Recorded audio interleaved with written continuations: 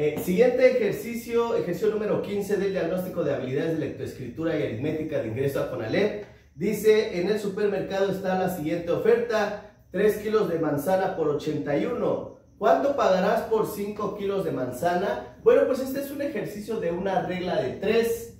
Vamos a acomodarlo de esta forma, en una columna manzana, kilos de manzana y en otra columna el costo, ¿no? Resulta que 3 kilos de manzana nos cuestan 81 y nos preguntan cuánto nos costarán 5 kilos de manzana. Bueno, y como lo resolvemos con una regla de 3, acuérdense que multiplicamos en diagonal y dividimos en horizontal. Por lo tanto, quedaría 5 por 81 entre 3 como en el diagnóstico de habilidades de lectoescritura no se permitía utilizar celular, no sé si a ustedes se lo permitieron utilizar celular ni calculadora, pues vamos a realizar nuestra operación 5 por 81. Regularmente colocamos el número con mayor cifras en la parte de arriba para no confundirnos, porque sería, sería a lo mejor eh, raro ver una operación de este tipo, pero es exactamente lo mismo porque acuérdense que el orden de los factores no altera el producto, el orden de los números no altera el resultado de una multiplicación. 5 por 1, 5.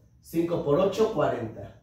Listo. 5 por 81 me da 405. Y 405 lo voy a dividir entre 3. 405, el resultado lo voy a dividir entre 3. ¿Cuántas veces cabe 3 en el 4? Cabe una vez. 1 por 3, 3. Para 4, 1. Bajo el siguiente número que es el 0. ¿Cuántas veces cabe 3 en el 10? Cabe 3 veces. 3 por 3, 9 para 10, 1. Bajo el siguiente número que es el 5. ¿Cuántas veces cabe el 3 en el 15? Cabe 5 veces. 5 por 3, 15 para 15, 0. Y entonces este sería mi resultado. Quiere decir que los 5 kilos de manzana costarán 135 pesos, que es el inciso C.